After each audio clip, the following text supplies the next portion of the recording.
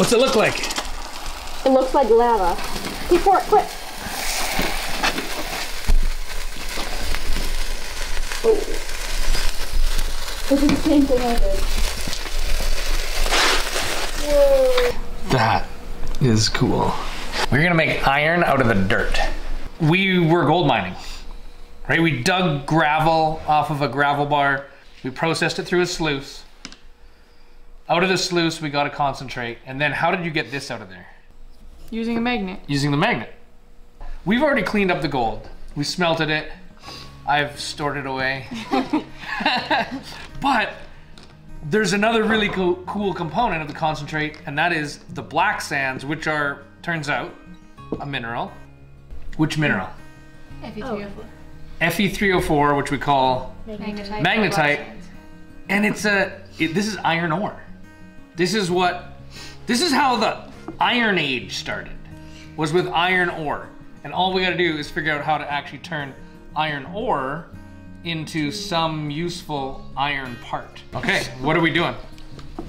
So we're gonna mix the iron or the black sand or magnetite. Yeah. We're gonna mix it together with um, aluminum powder, Yeah. and we're gonna, it's gonna,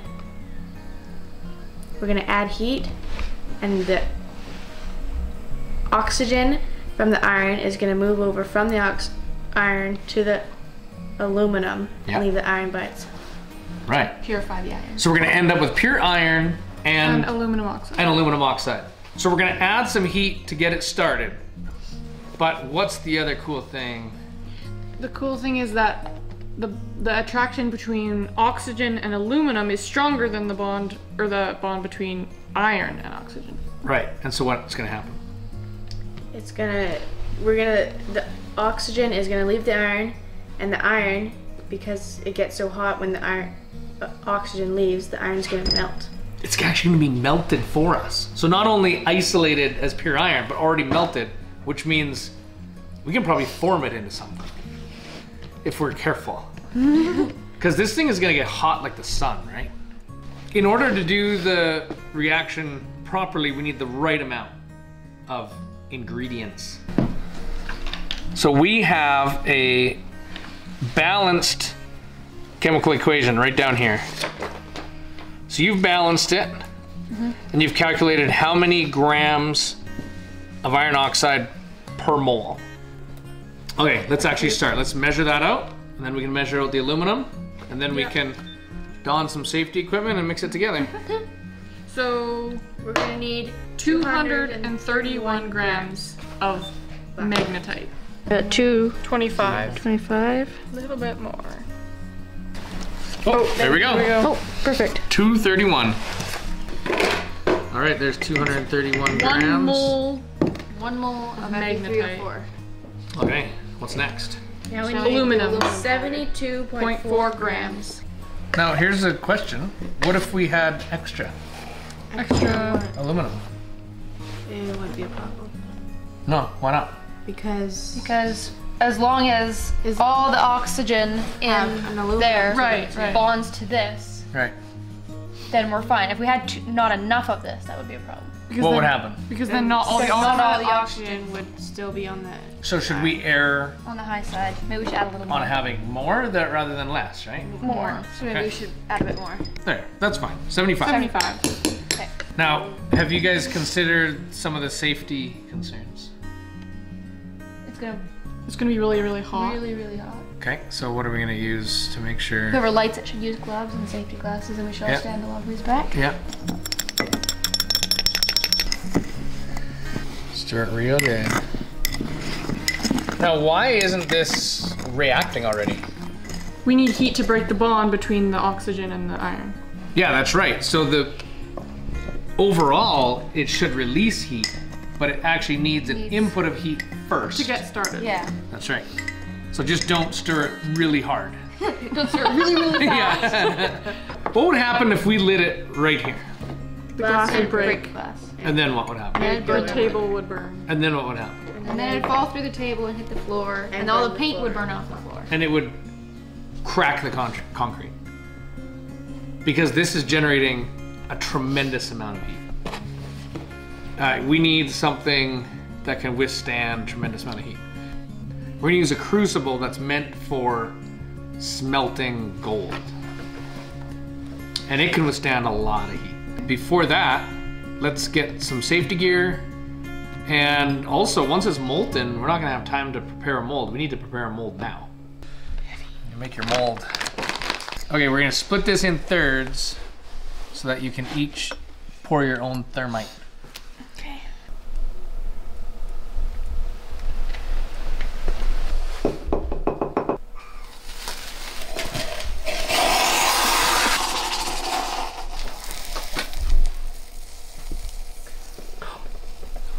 No way. What is is that? On, Yeah, a little bit on the, the side. red stuff. Now, how much iron were we expecting to get from this? How many moles of iron? Three moles. Three moles. And how much? So 55.8 times three. Three. Yeah. So there's 165 ish. 166. Yeah. 167? Yeah. 167 grams. But then we divided this by three because you each are getting your Right, own right. third. So, a So then third is back down to 55. Yeah. so I can see there's a bunch of sand stuck to it. Yeah. Oh yeah, look at that. You out. There you go. We made iron from the dirt. Yeah. Wow. That is so cool. no way. Oh my goodness, guys. That's exactly. it's 103 uh, exactly. no, that- no, no, no. So, or 102. That's Yeah, we incredible. had 102, so maybe the one gram Now- is from the sparkler. That is that is perfect.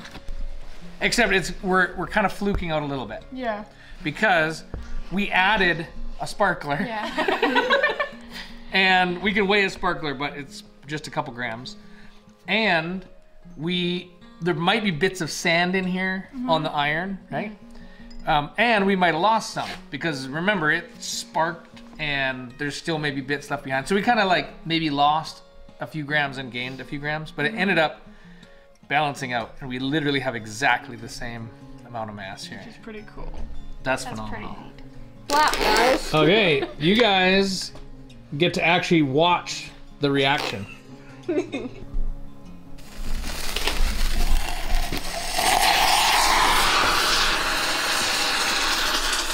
What's it look like? It looks like lava. He pour it quick. Oh. This is the same thing I did.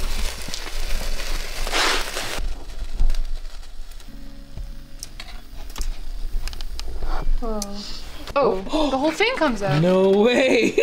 you made a soup ladle! Yeah! Julia. so cool. Look at the sand pop. sand All the sand just yeah, it just pops right out.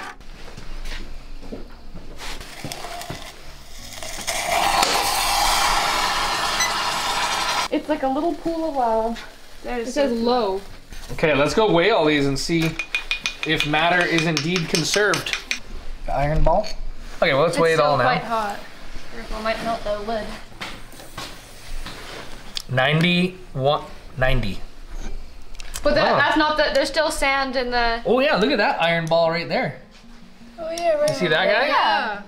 So we definitely know there's iron stuck in the aluminum. So what happened? No, this is great doing it three times because if we did hers first, it like appeared perfect. Mm-hmm.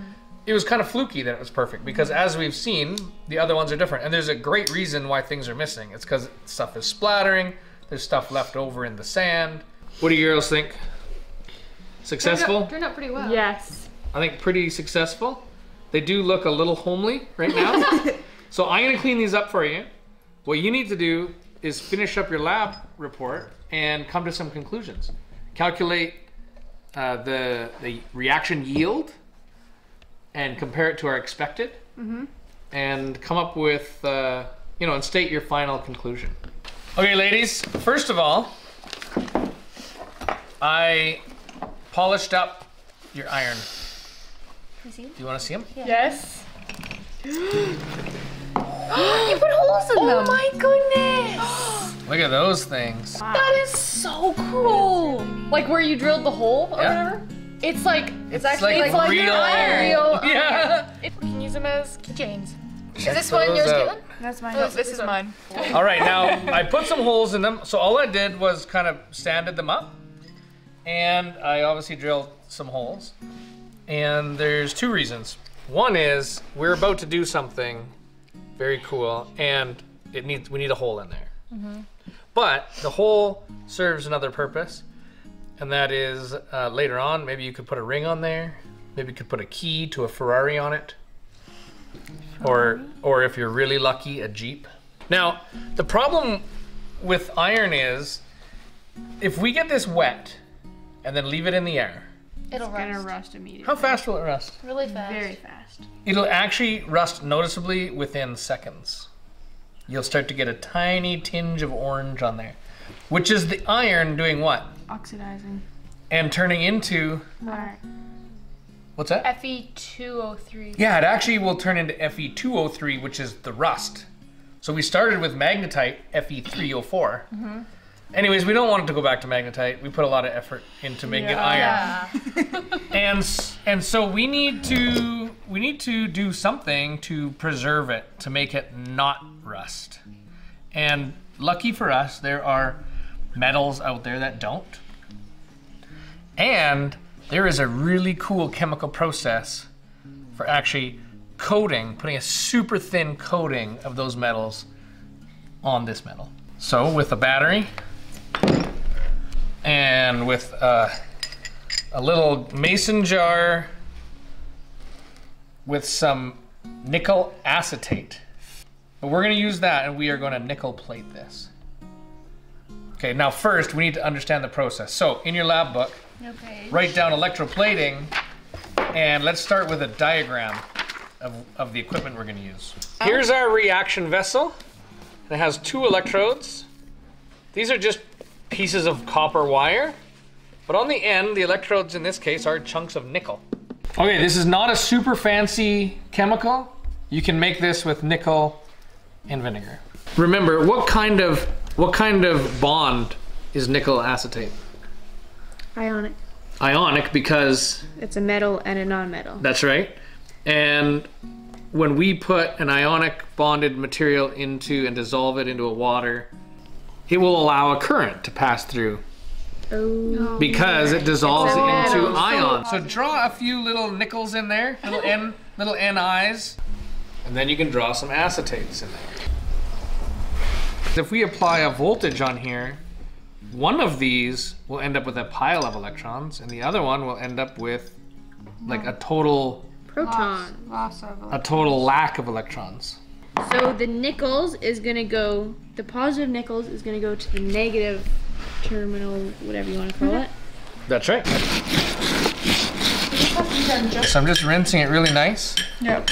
in the distilled water. Okay. Now, here's what we have. We have two electrodes, but mm-hmm. one of them is our part, Yeah. right? Yeah. So if we hook the positive up to this chunk of nickel, And the negative up to this one. and the negative up to this Watch, one, watch it. What happens? It's bubbling away down there. Mm-hmm. In this solution, what's happening is the current is flowing, like uh, on this side, is very negative, mm-hmm. right? Mm-hmm. And electrons are flowing over this way. And it's pulling off little nickels, which go into solution and become nickel positives.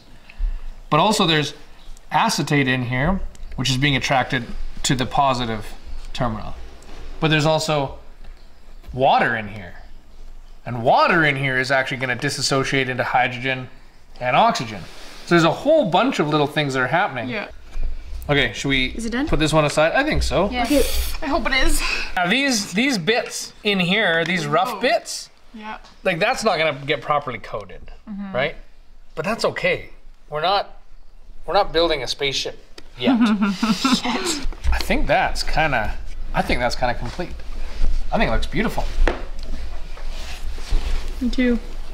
Four days ago, this was just in the dirt, Yeah.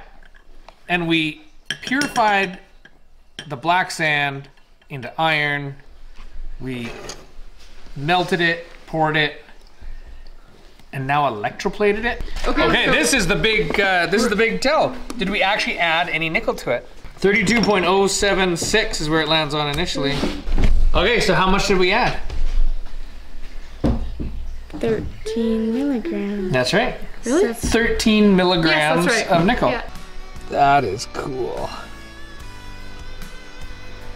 Well, what do you think, girls? You're all done. We're all done. All done? You made iron from the dirt. You made gold. We We found gold. The gold nugget. Okay, girls. You're done. We're done? You did it. Gold Rush 12. Good job. That was. That was weak. Do it again. There we go. Awesome. Good job, girls.